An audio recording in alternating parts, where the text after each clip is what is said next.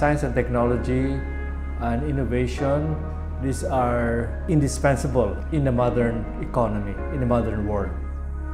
Uh, the problem being that, you know, while uh, we have our uh, PhDs here, there aren't enough of us. And um, everywhere else in the world, for research to be successful, you need a complete research group.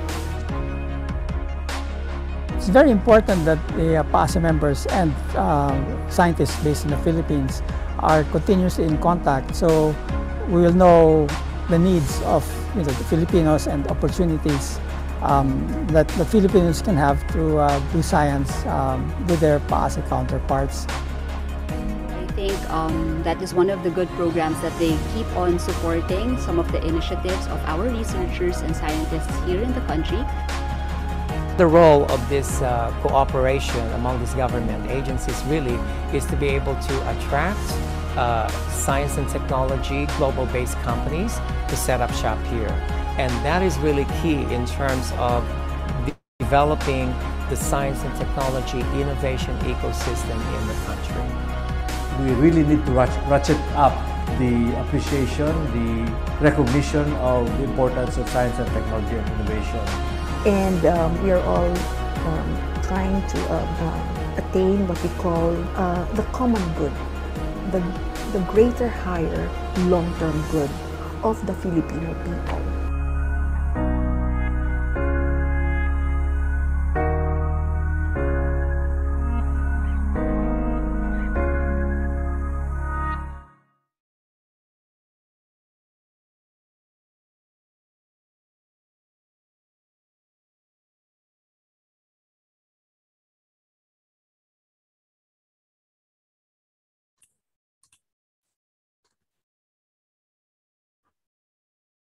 Hello,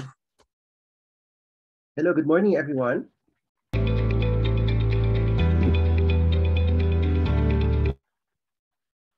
Okay, so it's already 8.03. Um, I think uh, we're now ready to start um, this webinar. Okay, I am Joel Ilo, who will be hosting and moderating this um, talk for today. Okay, and I have with me uh, Angie Lau, who's um, also co-managing this um, session. And we have a special guest for today um, who just uh, finished her PhD from University of Notre Dame and is also currently a faculty member of De La Salle University. So she actually just returned from the Philippines um, a few days ago, and she'll be returning her teaching posts um, to her teaching post at De La Salle University uh, for the next academic year. Okay, so um, let us begin with the webinar. So advances in hardware uh, in realizing or implementing novel algorithms is are really critical and has for several instances in the history of computing proven to be the case, especially in the field of artificial intelligence, when progress came in bursts that coincided with developments in hardware, such as cheaper and more reliable storage media, graphics accelerators, and such. Now, all those that can realize the theoretical algorithms that were developed and introduced um, before them, such as um, those ideas that um, are related to big data processing, um, implementations or ideas behind neural network or neural networking, and even cloud computing. So for today, we have a guest speaker who shall shed light on the latest updates on these developments. Dr. Ann Franchesca Laguna, or Cheska, is currently an assistant professor at De La Salle University. She earned her PhD degree in computer science and engineering from the University of Notre Dame, MS degree in electrical engineering, and BS degree in computer engineering from the University of the Philippines in Diliman. So her current research interests now are accelerating machine learning, bioinformatics, and digital signal processing applications using software hardware co-design. So with our topic, accelerating memory-intensive algorithms and applications using in-memory computing, let us all welcome Dr. Ann Franchesca Laguna. Cheska. Uh, give me a second. Nice to see you again, Cheska. Nice to see you again, Joel. It's the first time we've seen each other after a long time. Yeah. All right. Uh, is my screen okay? Yeah, we can see your uh, slides. Okay. Uh,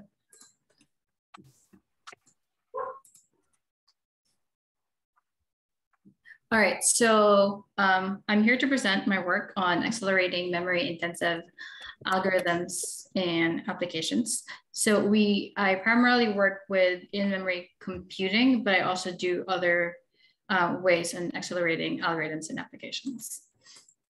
Uh, so let me start with this quote from Abraham Maslow. Um, it says like, I suppose it is tempting if the only tool you have is a hammer to treat everything as if it were a nail. So for all these years, we've been using the same type of hardware, like uh, like the von Neumann architecture, where we have like the memory and the compute separate. Um, but it when as like we develop new algorithms and applications it is not enough to use the same tools that we have. Because we can like different jobs would require different tools um, as i'm going to show later on.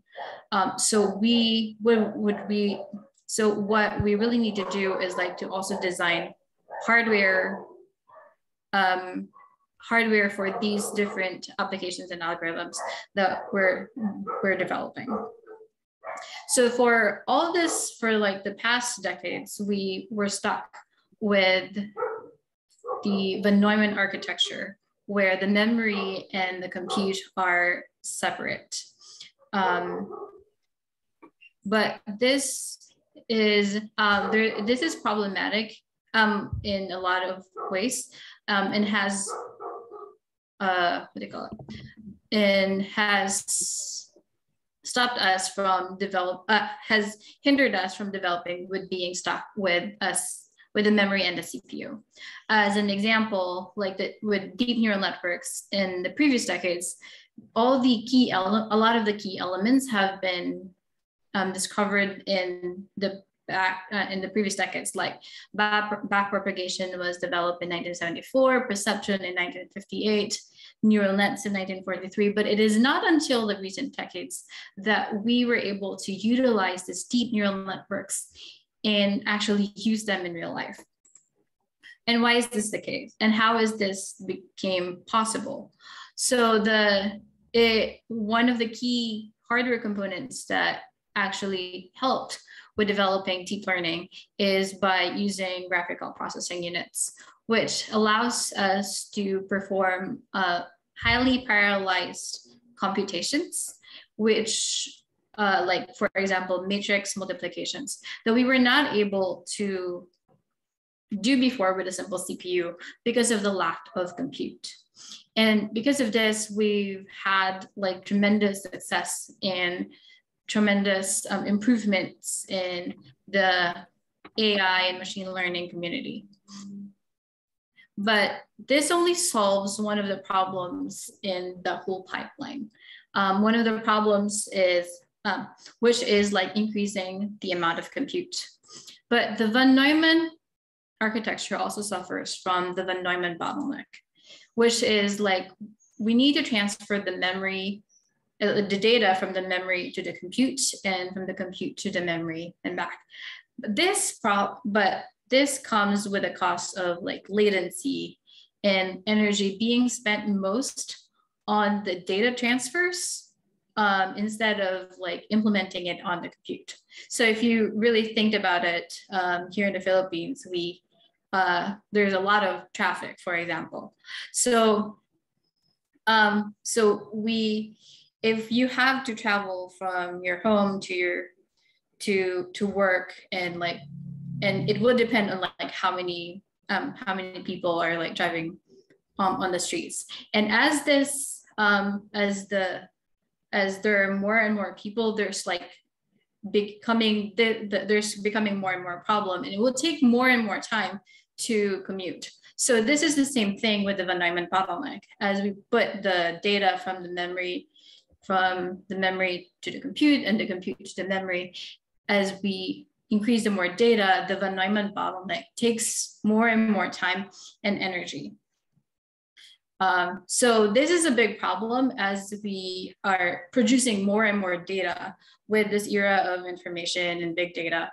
Um, the von Neumann bottleneck becomes becoming more of a problem. Uh, so yeah, so with the explosion of data, the von Neumann architecture will no longer be enough and we will need to design different tools such that we can alleviate this, um, this bottleneck. Um, the Von Neumann bottleneck is not, not the only thing that we need to look at. First, we need to look at the um, how much storage that we have, um, are the size of our storage, and then we the GPU it's partially looking at this, but like how much compute can we implement per second, and then finally the Von Neumann bottleneck, or like we also know it as the memory wall, where how much data can we transfer from the memory to the compute um, per second. To give a clear view of the this problem, so um, here is an example of the transformer networks. Um, the transformer network is increasing in size, like the number of parameters increases by 240 times approximately every two years. And it is only, it is even increasing exponentially. However, with the amount of hardware, amount of mem hardware memory that we have, like in our GPUs or TPUs, it only increases by two times every two years. So it is lagging behind. So what does this mean is like, we would need bigger and bigger clusters to even just implement or like even possibly even do inference um, to use utilize these transformer networks. And this is not sustainable. Um, and this is not sustainable. So we would need to find different ways to solve this problem. Uh, and then there's the compute limit, um, as we've discussed before.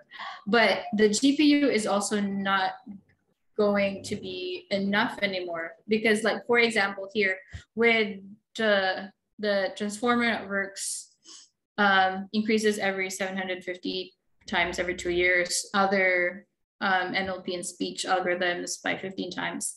But the Moore's law um, requires um, or like fitting the transistor size decreases by two times every two years. So we can only fit more and more transistors in a single um, in, in our chips. And that would also mean that we would need bigger and bigger um, computing, we would need higher power, higher energy, just to be able to implement these um, algorithms and applications. And then finally, with the memory wall or the memory bandwidth limit.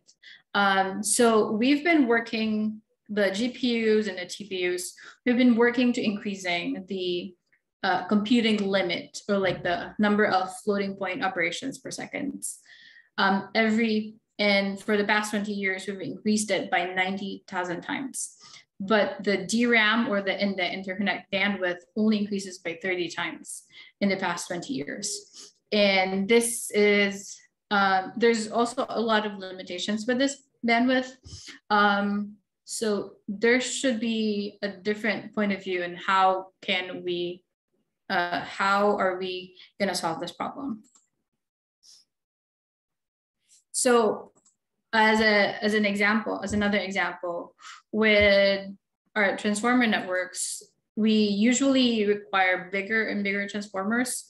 Um, we can also utilize transformers for longer and longer sequences. Before it's just like a phrase, but now there are transformers that looks at like and then there was like articles wikipedia articles and then it's now getting bigger and bigger and translate translating to more like books and like looking at like multiple articles at the same time and this would need longer longer and longer sequences but as we increase the sequence length um, the execution time also increases and this is not just because we are increasing the number of compute because we, we have a bigger transformer, but this is also because mainly because of the memory bandwidth bottleneck. Um, for example, Megatron only achieves about 30% of the theoretical peak um, floating point operations per seconds in GPU. That means 70% of the time is actually spending it on the transfer between the memory and then the compute unit. So there's just a lot of time is actually and energy is actually being spent with just passing information. So as we solve this, uh, we are looking at different aspects.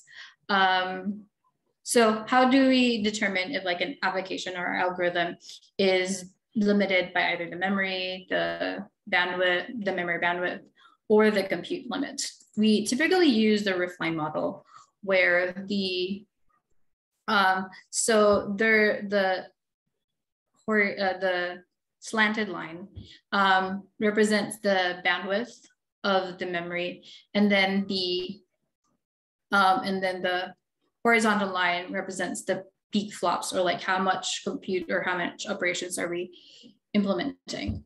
Um, on the left side below the bandwidth, all the applications for algorithms or not just even application there sometimes it's just like operations that are bandwidth limited and then there's like compute limited so an example is um, like matrix multiplications are generally compute bound but like stuff like softmax and like normalization are typically bandwidth limited um, so we usually want to be as close as possible to the the memory bandwidth limit and the compute limit to be able to utilize them. But uh, so as we so as we design and optimize our algorithms, we would want to be as close to those limits. But because of those limits, also some of the hardware um, would take could take a longer time. So what do we do? If it's more compute bound, we would usually would require more parallelism, or we could have like a faster GPU. Um, we could also do quantizations because uh, so the number of operations per second that you can have for like an int eight, for example, is much faster if you're doing rather compared to a floating point. Um, or you can change your algorithm so that you can have a lower computational complexity. For the memory bandwidth, we usually would want like a faster memory. Um, we can also use quantization and sparsity. So like there would be less transfer between the memory and the compute. Um, there's this also idea of data reuse. So it's uh, it's like making sure that once you transfer it, you use it as much as possible before you once you transfer the data, you use the data as much as possible and before offloading it. Um, and then the my research mainly is on like in-memory computing. So in-memory computing, actually what happens is that we combine the hardware or like the compute and the memory uh, memory together. So we're actually implementing the compute within the memory. Hence, we don't need to um, travel back and forth between the memory and the compute. Sometimes I, when I talk to uh, a lot of people, I just explain it in such a way like it's like working from home. You don't need to do the, you don't need to travel, like the data doesn't need to travel between the memory and compute. Hence, it would save time and energy. Uh, so this is not always good. Eh, this is also limited for like um, certain applications and not all applications would be good for that. So the idea, the in-memory computing would almost always be good for applications with which are memory and bandwidth bound. If your application is more compute bound, um, it may or may it may not uh, like improving your GPU may work better than using an in-memory computing. So when we're designing these accelerators, we usually typically use a, a cross layer design. So we look at like the applications. Um, I'm gonna talk a little bit about the um, like transformer networks, recommendation systems, and a little bit of bioinformatics. Um, and then we look at like architectural solutions, like is is it good to have like ASICs or are we is it good to use GPUs, FPGAs, or like are we using like this memory arrays? Um, and then um, let's say I'm using in-memory computing. There's also like different types of in-memory computing circuits, such as crossbars, content addressable memories, and then there's a general purpose CIM. Um, we also need to look at like the impacts, uh, like circuit impacts on the circuit level, on like the non-idealities um, of the devices that we have. So uh, I'm not going to talk about the non-idealities, which is like an overview of like the whole cross layer design. And then finally, we can also go like like a much lower level on like the materials that we use on the for the transistors that we're designing. So like SRAM or the CMOS, um, we that we typically use. Uh, it, we'll, we'll discuss it later. And then there's like more emerging technologies such as like resistive memory and like FeFET, like uh, FeFET um, memories as well. So uh, I with the course, I'm also gonna touch a little bit with the SRAM, RAM, and the FFET. So I'm gonna start top down. So I'm gonna start with the lower level um, and then go up to the application level as um, I'll be using some of these. Uh, it's think of it as like picking what tools do I need for like a specific uh, application uh, for a specific operations. So with the devices, um, I mostly work with CMOS and FFET. I also have worked a little bit with the flash um, PCM and ReRAM. But um, in general, um, CMOS uh, is a volatile memory. So what that means is that it usually requires frequent refresh to keep the data in memory. So you really need to put like, like more voltage and always has to have power to even keep that memory in the memory device. Um, then you have faster and lower energy writes. Uh, but it is also like good for like a lot of computing tasks. So you need you can't it is faster with writing. So if you need to write more, it, CMOS is still pretty good. And it also um, endurance is like how much memory, how much writes can you do in a device. So there's a limited, it's limited in how much, how many times can you write on a device. And then it also, but another bad thing is that it has high leakage power, which is also due to like having to refresh the data in the memory as more often. Um, the FFET, um, which is also a non-volatile memory, is actually based on the CMOS, um, but we just put like a ferroelectric layer on it. Um, so the good thing about this is it can keep data even without power. Um, it utilizes some device characteristics such as hysteresis to be able to do that. Um, the downside is that it has lower and higher energy writes and then um, it has lower endurance. So there's like, you need to write less basically with FFET devices because writing is not really great with FFETs. And then um, because you don't need to put power um, and it can keep data, it just it is has low leakage power and non-volatile. Um, and as again, there are other non-volatile memories such as flash, flash, SOT-MRAM, PCM, and RAM. So multiple research groups actually has like favorites among these. Um, so, uh, so you uh, you might actually encounter like different non-volatile memories. But all in all, they're a, a lot the same, but it's on a device level that they kind of have um, small nuances. Going to the in-memory computing units, uh, we typically use um, different types of circuits. We continue to design like different circuits for different um, uh, purposes. So, and sometimes we just have variations of the same thing. So for example, crossbars um, is very good for matrix vector multiplications. Um, I'm gonna discuss this a little bit in detail later. Um, and then we have like the CAMs, which is very good for searching. So they, in some papers, they call also call it like associative processors, where you actually search for the contents in the memory. Um, general purpose CI uh, computing in memory is mostly like like other logic.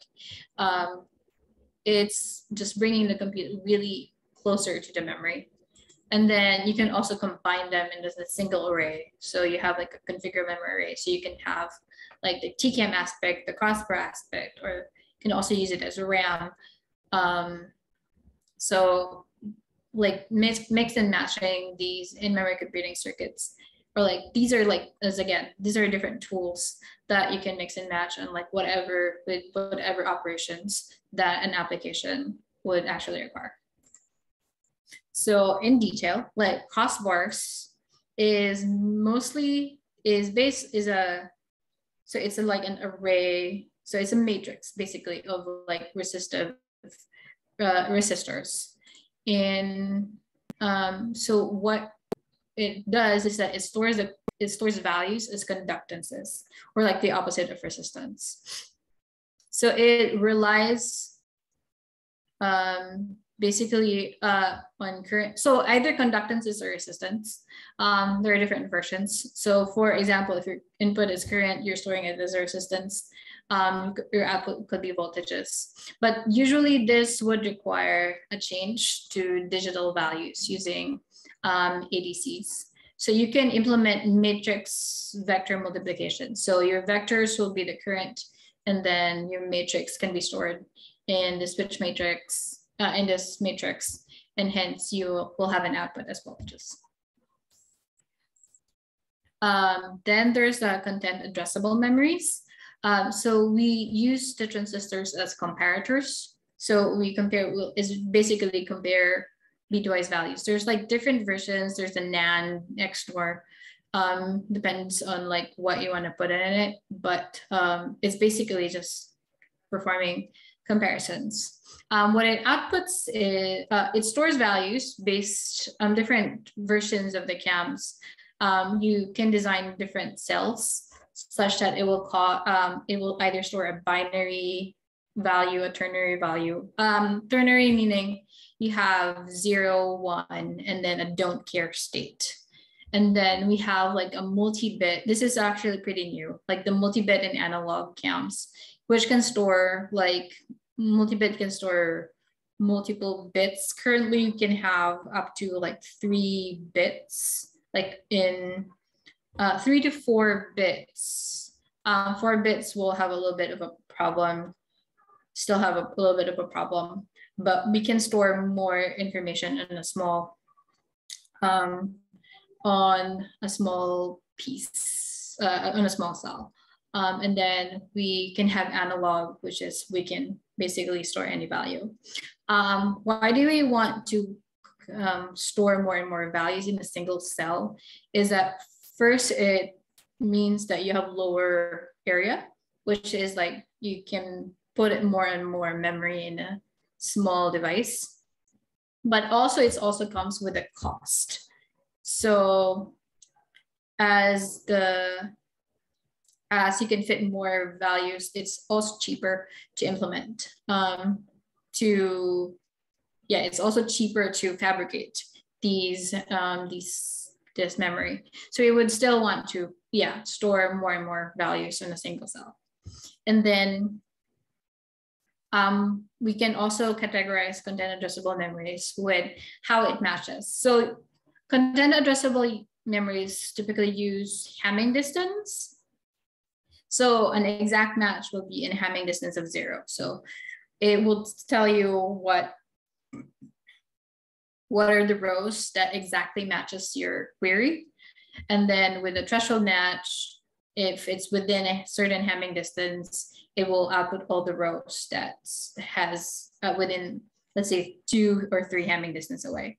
And then there's the best match, which is like the what is the um, what has the lowest Hamming distance.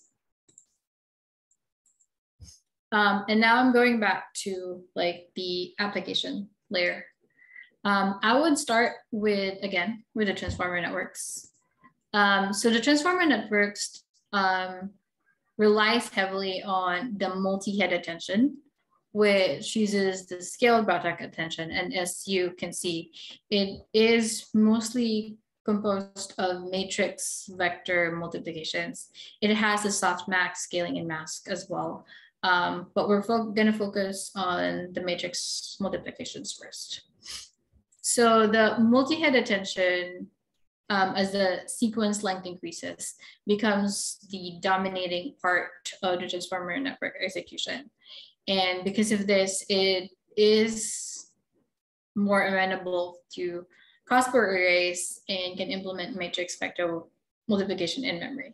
It all, so, um, so you want to accelerate that part of the execution.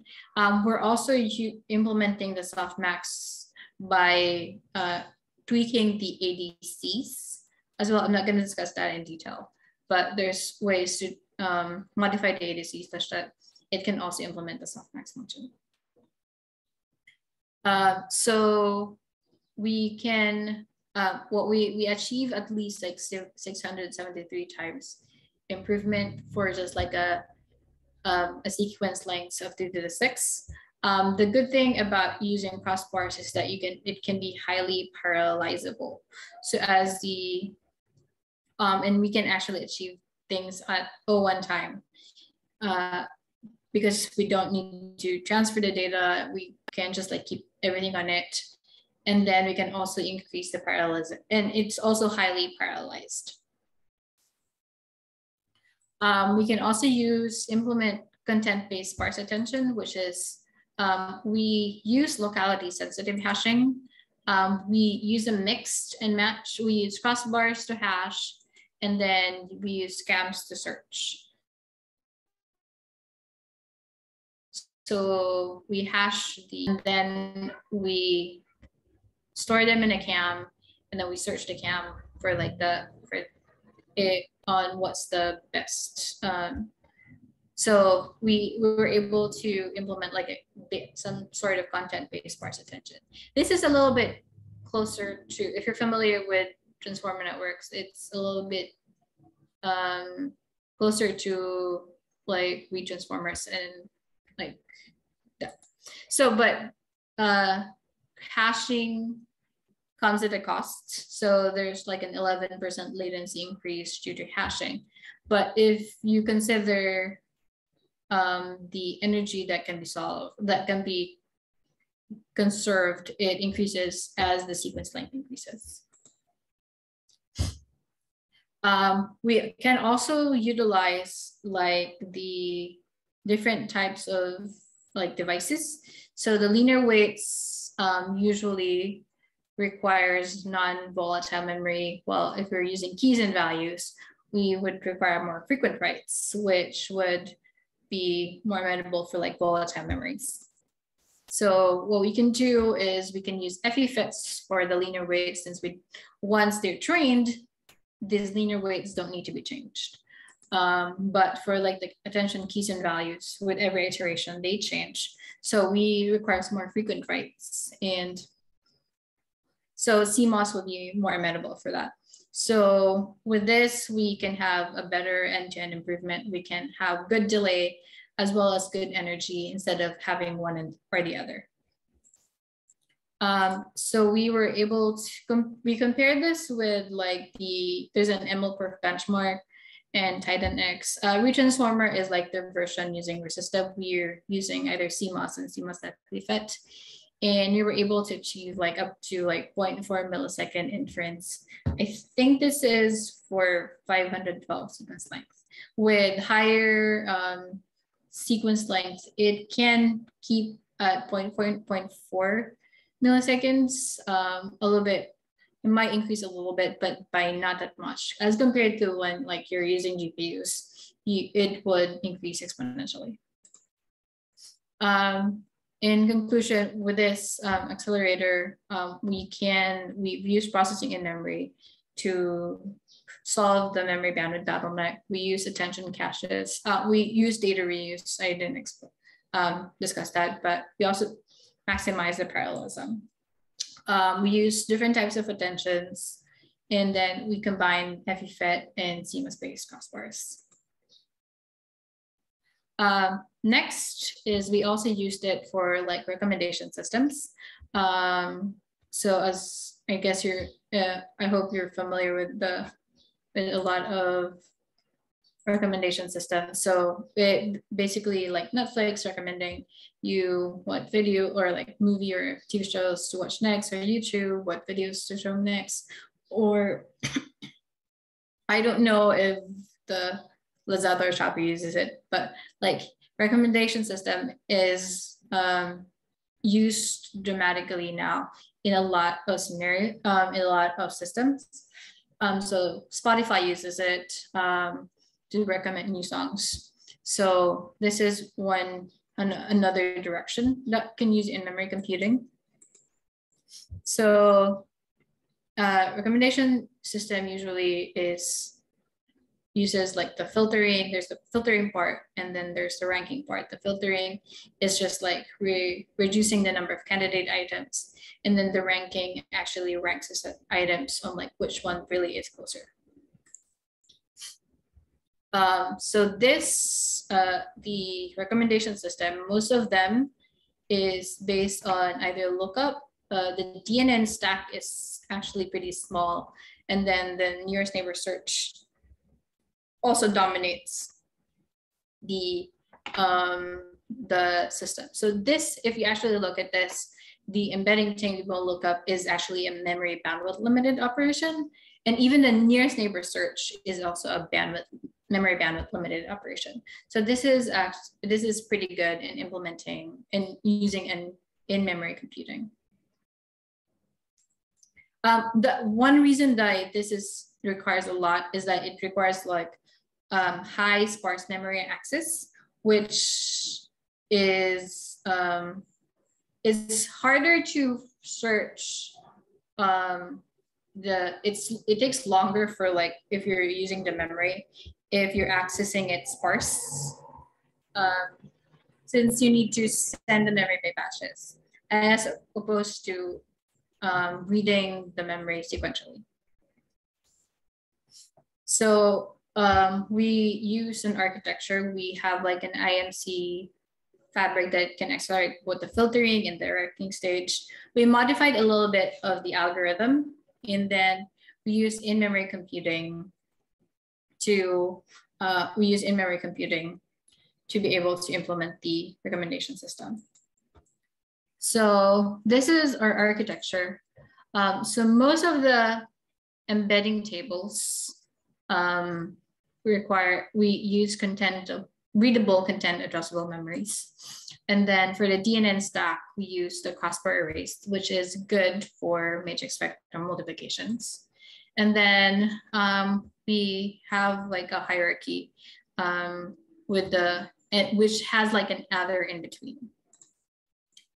And with that, we were able to achieve up to like 37 times speed up um, compared to, uh, think 2060 um, to like a GPU uh, with this figure merit. This is for the specific, um, this is for a specific archi uh, I'll, like recommendation system architecture, like algorithm um, in a specific data set. So if we have like us, I think you see here, like if you have like the MovieLens or the Kaggle, it kind of changes um, with the implementation.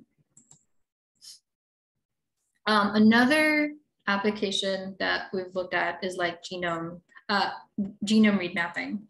So um, with genome sequencing, you typically cut the DNA into smaller segments called reads, and then you need to um, you need to sequence that. You, they cut the DNA segments and then cut them, and then each small segment is sequenced in parallel.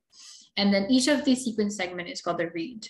These are all scrambled, so it's kind of like um, you need putting them. You need to put them in order, and this would be like putting a puzzle piece together. So you have like a lot of puzzle pieces, and then you still need to you need to figure out where does each puzzle piece fit. Um, genome genome data is very very big. Um, the human genome typically needs like 1.5 gigabytes um, just to store. It, that is just to store. And if to process it, it would require more and more. But um, so it does require a lot of um, data transfer, but it only requires simple and parallelizable operations, such as like string matching. So we use the seed and vote approach. So it's basically a voting uh, mechanism. So we vote, uh, so we generate the seeds, we search the, uh, we search, we need to search the memory for like the exact locations and then vote based on how much how much matches we have on a specific locality. So this is actually very, this approach is actually very good for content addressable memories, which is really good for search and like having distance based operations. So we use TCAMs. Um, so the steps for this is that we generate the seeds um, so it we use the shifter to just um, to just generate it that just need a shifter to generate the, the seeds and then we do the seeding part or like the matching part using content addressable memories and then we have a voting and filtering using another shifter and then um, we with this work, we still use the GPU, but we're also working on just like using in-memory computing to perform like an extension, which is requires like dynamic programming, or it requires a lot of multiplications and additions. Um, so we were able to do 115 times faster than other accelerators and 400 times faster than the CPU approach. It we didn't use the GPU approach because it's actually a lot a little bit slower than the CPU. It's because it's more memory bandwidth. Um, it requires more memory bandwidth. Um, and hence, like the CPU is actually sometimes better when it comes to certain operations such as that. So we, so what, uh, so we've looked at like different um, applications such as NLP, recommender systems, bioinformatics. We um, there's a lot of other applications that can use in-memory computing. Um, we use it also for security, reinforcement learning, um, and other stuff. And we have like this different tools that we can use to be able to implement these applications. Um, and that's all that I have um, 100% for today. And thank you for listening. Okay. Thank you, Cheska. That's very enlightening for us. No? We didn't know that extends how extensive your research work has been uh, during your stay in the University of Notre Dame. So I'm really impressed. Okay, so at this point, we'll be opening our question and answer um, portion of this program. So uh, as Angie posted earlier, um, you, for those who have questions, you could post your questions at the chat box, or you could even unmute yourself. Just raise your hand and then unmute yourself. Okay, so that uh, we all of us could hear your question and um, directly interact with our speaker for today. Okay. Okay. So, okay, since nobody is asking yet, let me um, ask the first question. Okay, so understand all of this have been um, researched and tested at your laboratory. Okay, I wonder about um, if there are plans or even actual efforts na, to integrate your research work into the manufacturing lines of major electronics manufacturers? Um, so we're actually working what, with different hardware companies Mm-hmm. So we have some of this research is in with Global Foundries. Um, if you're not familiar, they're actually making some of the chips. And then with Intel and IBM, some have like different um, preferences. Like Intel wants like use um, RRAM crossbar. So they actually had just had a paper with like crossbar arrays using with HP, and then um, IBM using um, PCM with transformer networks. Um, so these companies are actually interested in implementing these and to be able to manufacture it. I think part of it, part of the work right now though, is just like making it more go like go cohesive and we'll probably see it um, in our devices in the next year, couple of years.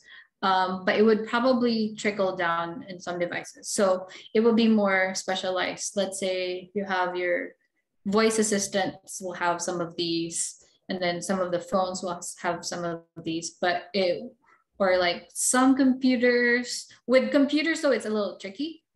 So what will happen is we, because computers are more general purpose.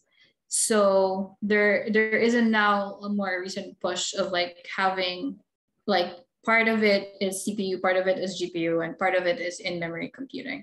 So how much of the balance um, would be a question for like the bigger manufacturers if we're looking at like the CPU, like CPU level, like desktop, laptop level. Okay, thanks, uh, Cheska. I just realized after I asked the, that question, I just hope that uh, we're not uh, violating any NDA. No, it's a, these are all published. These are oh, all okay. published. So I'm okay with telling these. These are all okay. published. okay, thank you. I can um, put in like the publication. So yeah, okay. Uh, we could just uh, look at your Google Scholar uh, for the corresponding publications but by the way, I, I'd like to acknowledge the presence of our president, Dr. Mario Santo Domingo, and um, our vice president, Dr. Gladys Completo. Hello, ma'am and sir. Okay, so other questions from the uh, from the group. Um, the other question is about um, so you've talked about the hardware, and then it seems to me that um, some of them are implemented you know on top of the hardware. So there's an existing hardware and then you just um, implemented a new algorithm or over on top of it? Or does it need to be you know um, how do you call this? Uh, hardware and software both um, being changed or refined? So part part of the work is figuring out like what tools you need to use. But sometimes this tools like is not exactly what i would need. So we've been doing a lot of research with cams for example. So first we are using just ternary cams and then we develop different types of matching because like hey i, I tell some of the circuit designers, hey, I need this type of matching. What can we do so that I could have this, so that I can apply this to a specific application? And it does evolve the circuit as well. So um, it's not just the hardware telling what the software to do, but it's also like the software, hey, I need this, like the software side. Um, I work mostly on the software, but also telling the hardware people what to do. So it's a more like a hardware software co-design. Um, so it, as you've seen with the cams as well, we started with um, ternary, we, we moved towards multi-bit as well, since that would actually also improve. Like for example, with DNA, um, it would be good to fit all the nucleotides in a single cell instead of putting it on like four bits. Hmm. Um, so there is, uh, it is a co-design. It is really a co-design in such a way that these are the hardwares that we have. This is what we need. And sometimes it's also like nice because um, when, uh, this is not my research, but previous people, when they did FeFET, like the hysteresis that we find in the memory arrays, they actually didn't like that before. But hmm. what they found out is that it's it's it's like a non-ideality. It's like a hmm. it's something that you don't want. It's an, it's an imperfection. But in but when like we put in like more software people, hey, we actually it's actually pretty nice because like we can't keep it in memory. So it is a more like so hardware software co-design. What what I actually enjoy sometimes is like figuring out some of those non-idealities. Hey, I can use that Um, with actually for AI, a lot of these devices have noise. And with um, AI, sometimes we want noise for like regularization. So Mhm, mhm. up to a certain level, these are like actually good. But like if it increases up to this much, hey, I don't want that anymore. We probably need to. Um, so it is the software drives the hardware, but the hardware also drives the software as well. Mhm. It's not just one-sided. One one sided. Okay. So Angie has a question here. How much will the project how much will be the projected budget to set up the whole applications for univers- university-based research? Uh, I'm sorry again. I can't see it here, but Sorry. Um yeah, Angie just messaged me personally. Um, her question is how much will be the projected budget to set up the whole applications for university-based research? so it, mm, if we're just like doing everything top down, it, Mhm. it will take a lot of money. Um, fabrication by itself requires like millions of dollars. But I what um, what we do is like we do collaborations. There are companies that have the fabrication facilities, like Global Foundries, um, probably TSMC's, TSMC, or um, by by by teaming up with them, you don't need to do the fabrication yourself. Um, sometimes they actually want to fabricate it. So just like they then they what they do is like they give us like smaller scale chips. And from those Mm. chips we experiment and it's a lot easier to do that so there we there's also like simulations that you could do um, and then you just do do project like how much um, you're gonna how much is the energy and delay that you can do by by doing a larger scale um, there hasn't been a large scale fabricated chip yet for a lot of these. A lot of these are still simulations.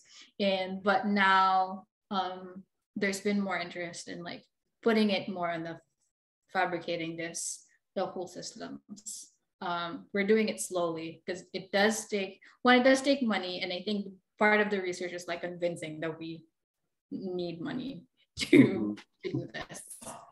It's true. So I I am assuming that you are heavily supported by the industry here, Yeah. or or are you just being supported by the federal federal government? Um, so what I had before was uh well I'm still in the US is that um is that it's a consortium. So multiple industries are actually we do collaborations with them based on like what interests or what research are they interested in and like what are their resources? Um i think my part part of it i try i i'm keeping some of those connections but i also would want to have like connections like as i come here. And like we do have some places where we actually do manufacture stuff. So i don't know yet but that's something that i would actually want to explore. Yeah. I hope that we could also duplicate that here in the Philippines. Although I don't know, Intel already went out, right? So we'll have to look for other uh, possible industry partners here in the Philippines. or e- yeah Before we were sending our chip designs to Singapore, right? And then waiting Mhm. for several months Yeah. just to be able to um, to use that uh, the chips and then test it out in our labs. Okay, so Gladys asked, can you comment on DNA-based computer data storage and whether it has been successfully used already? Um, I'm not allowed to talk about it. Okay, that's the. NDA. okay. We hit an NDA, but um, there are efforts on this. Um, it's a larger scale. So I see. I I actually, yeah, but I'm limited with an NDA. But um, but I can actually do it faster now. Wait, there's a there's a chip that we've been using. Okay, great. So uh, Angie asks, is it possible to collaborate with our local engineers on this particular research area? Yes. Mhm. Um, we actually do have a lot of manufacturing here, and I think part of it, it doesn't even have to be. Um, so the in-memory, I'm not also just, just I, I presented the in-memory computing part because that's what mostly I worked on. But along the line, I also had um, other like like parts of the research that are more, let's say mobile, for example, um, mobile Arduino, um, like like like smaller scale. And that's also some part part of that what i'm interested in is like putting how do you put like this big transformer models in like smaller um like like devices? And um it it might be somewhere along the lines where i could work more with the local engineers that we have. Okay great. So the future is really bright also locally. Um Mario is raising his hand. Yes, uh, hello, uh, Dr. Laguna. So I have a question. You trained abroad, and now that you are going to teach in the Philippines, uh, how equipped are our universities in training, you know, our young engineers, uh, computer scientists, computer engineers in what you've learned abroad and uh, like what, what are your like uh, future plans you know in terms of uh, like trying to improve you know our curricula or our facilities you know in in the area of your specialization? Um i think I, I would touch first with like a little bit of logistics. Um i think with research well, i start with research with research, there has been, at least my group, not all groups are like this, but what I loved with my research group is it's very collaborative. And it's mm-hmm. also, I think, part of like my research, the how my research needs to be, is that it has to be very collaborative. You cannot do this alone. You cannot fabricate a chip. You cannot do the. You cannot do everything. Um, so it's very collaborative, and I think that's one thing that before when I teach here, I didn't feel as much in the community. There is still some collaboration, but we can have it. Um, actually, the part is like I can know someone's research before they're even published. Um, so I I can see like draft of the papers, for example, and it's something that I we don't have. If like for example, the UST can do something like a we can increase the citation counts we can increase like collaborations by having those like just access with like um, people like hey these are like research that i've been working on. Can we collaborate with this? So it's not like the crab mentality cannot work but we should be really be helping each other like improve the research. Um, the other thing that sorry neighbors um, the other thing that I, with teaching is that there are more, there's been a lot of more, even with the undergrad level, they start to put in their research, like research work in some of the aspects. So it's a little bit more personalized with the some of what they're teaching. They're teaching what like the the basics but there's also parts that hey these are like research interests and these are the new things that's happening um, including them also part of the curricula um, actually would help like the future engineers like oh like they because these are things that they would encounter in the future when they go to the industry and not just like the um what we like what's like the textbook is saying. So putting a little bit of that could actually help the students once they go into industry. I can't think of right now. I'll think of something later. Okay in terms of consortium you mentioned about consortium. So your group is in part of a consortium and uh, hopefully in the philippines you could also have that consortium if you wanted to have a very collaborative uh, environment. Actually, I think DOST is already, um, you know, promoting this idea. So when you return, uh, you'll see a more dynamic, more collaborative research atmosphere no? um, compared to when you uh, first left to the US to study. So we're uh, hoping that you'll be very active in that, um, you know, in that activity, in that full collaborative um, environment. Okay, and you could also do that here in PAASE as well. okay. Uh, that's another thing that I realized too. Like I'm in, I was in Fulbright. I had the Fulbright scholarship, so I've met a lot of people outside, also outside my my uh, my field. So mm-hmm. from fisheries to like law and criminology. So these like kind of also opens my eyes to like other different types of research that oh these are things that I, we could actually use because computers um, are like enable are like enablers. Yeah. So we actually can use it to um, help like other technologies as well. That's great. Mm-hmm.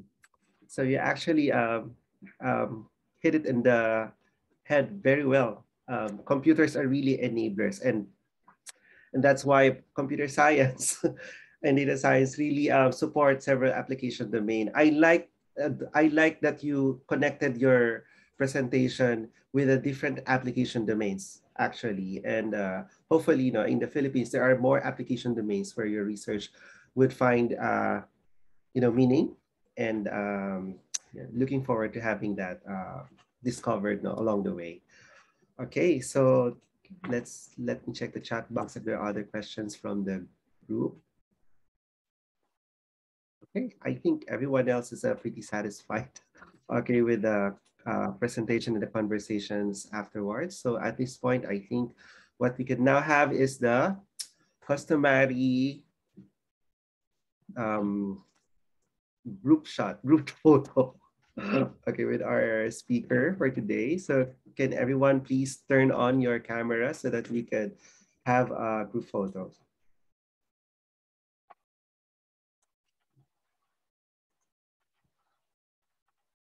Okay. Okay. So Angie, will you be the one doing the screenshot? Okay. Okay. Okay. Let me just. Okay. So, okay na ba? Okay.